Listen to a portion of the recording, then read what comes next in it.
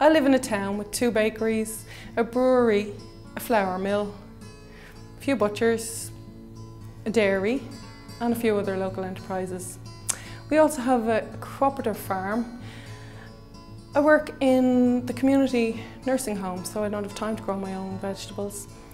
Uh, so I buy into the cooperative farm. I pay a set fee every week and then I can email my order in once a week for my eggs, my cheese, my yogurts and all that stuff. Uh, then I can pop down and pick up my veg whenever I feel like it and every week I try to get to the local market.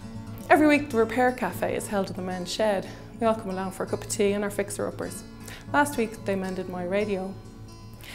Um, my youngest works in the furniture co-op. He's making chairs at the moment and my son is working in the bank. My daughter works in the local primary school and she's able to tell me all about how they teach the kids through the best way that helps those children. This term they're learning through football.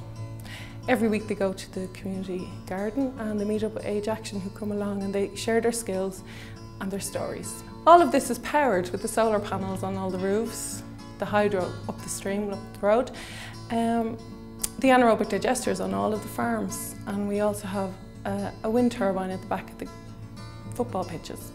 The transition movement and public participation in policy, especially the People's Energy Charter, has taught me that active citizenship is very important.